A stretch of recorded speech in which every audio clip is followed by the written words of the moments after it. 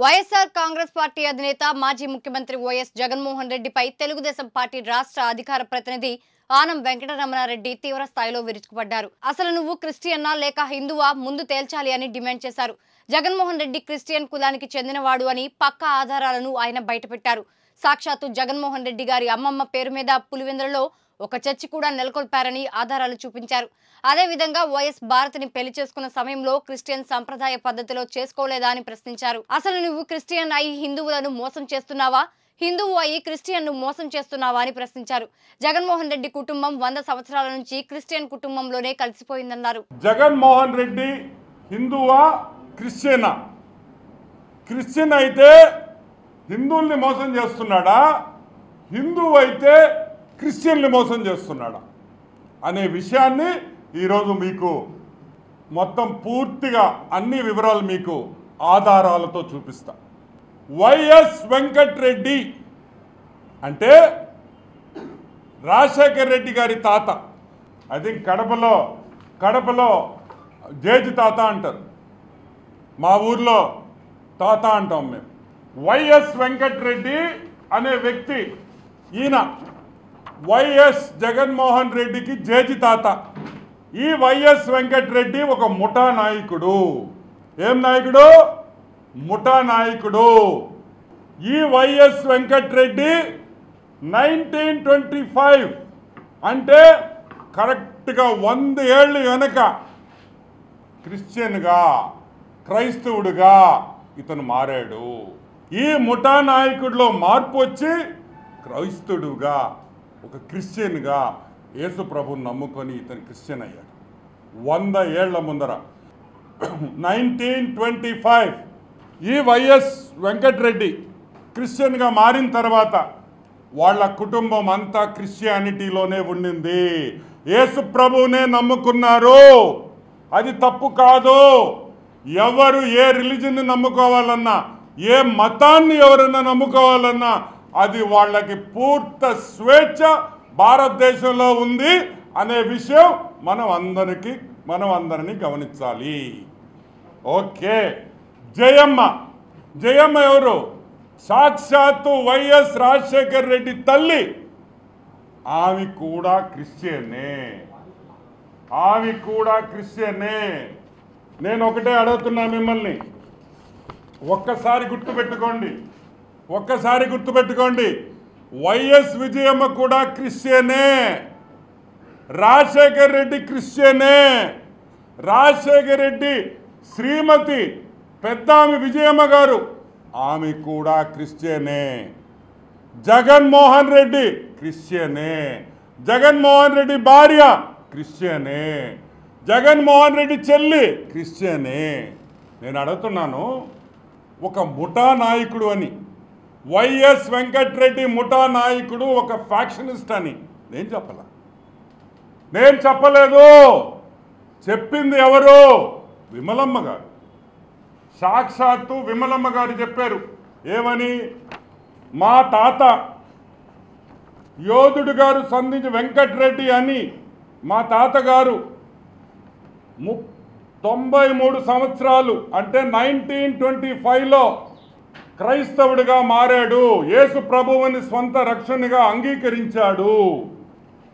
అంతకు ముంద అంతకు ముందర ఆయన విగ్రహ విగ్రహాల విగ్రహాలు పూజించేవాడు.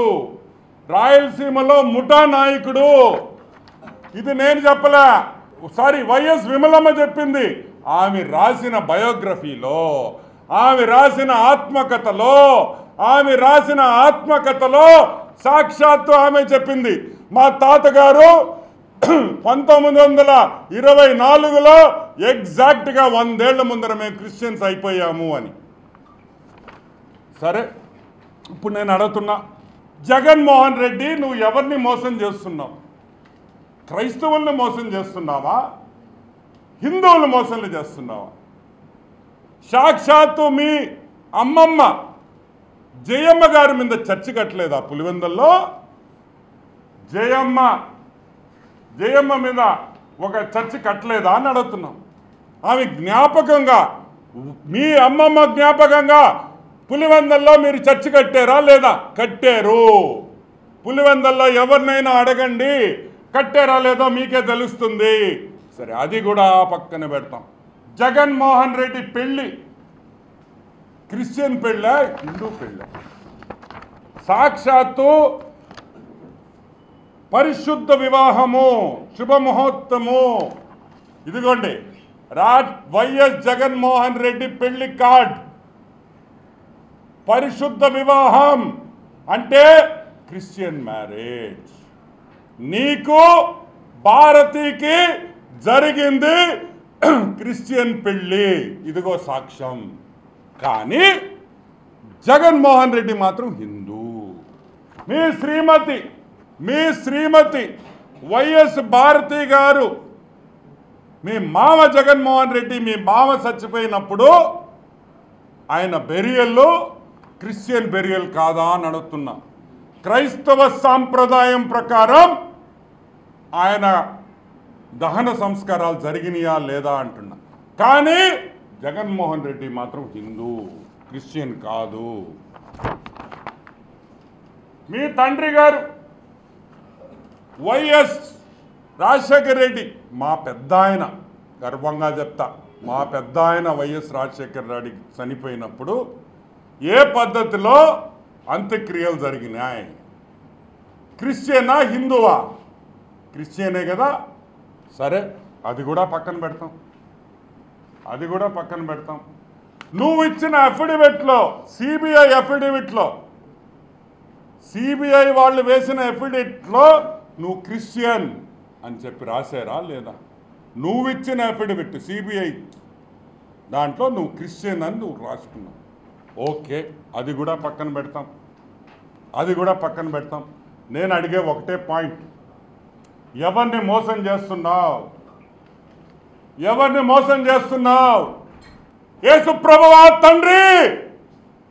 ఈ మోసగాడు నీ పేరు చెప్పుకొని ఓటడిగిన మోసగాడు ఈరోజు నువ్వు నీతో సంబంధం లేదు. నాకు సంబంధం లేదు. యేసు ప్రభు ఎవరో నాకు తెలియదు అంటున్నాడు నీ బిడ్డ. తండ్రి కళ్ళు తెరువు తండ్రి. భస్మం చేయి తండ్రి ఇతన్ని. యేసు ప్రభువా హలో ఇదే నా న్యాయం. అటు క్రిస్టియన్ సోదరులు మా క్రిస్టియన్ కుటుంబాలని నేను క్రైస్తవుని అంటాం. ఇట్టొచ్చేసి హిందూ కుటుంబాల్లో నేను హిందూ అంటాం. అసలు నేను ఒక్కటి అడుగుతున్నా యేసు ప్రభు ఏం చెప్పాడు? యేసు ప్రభు ఏం చెప్పాడు? ఇషియా గ్రంథంలో ఇషియా గ్రంథం నలభై మూడు పదో వాక్యలో ఏం చెప్పాడు యేసు ప్రభు? నాకు ముందు ఏ దేవుడు లేడు? మళ్ళీ వినండి నాకు ముందు ఏ దేవుడు లేడు. నా తర్వాత ఏ దేవుడు ఉండడు. నా తర్వాత ఏ దేవుడు ఉండడు. ఉంటే వేడిగా ఉండండి లేకపోతే చల్లంగా ఉండండి. అటు ఇటు ఉండద్దు అని సాక్షాత్తు ఏసి ప్రభువే బైబిల్లో రాసినారు. ప్రభు రాసిన వాక్య ఇది. కానీ అటు వేడి ఉండదు ఇటు సల్లంగా ఉండదు. ఉండడు. ఇతను హాఫ్ టికెట్ కాబట్టి ఫిఫ్టీ ఫిఫ్టీలో ఉంటాడని కూడా మీకు మనం చేస్తున్నా. సాక్షాత్ యేసు ప్రభు చెప్పిన మాట నేను చెప్తున్నా. ఇతను దానికనే ఇతను half ticket half ticket half ticket అనేది. ఎందుకంటే అటు ఇటు కాకుండా ఉండే వ్యక్తి అని కూడా మీకు మనం చేస్తా ఉన్నాం.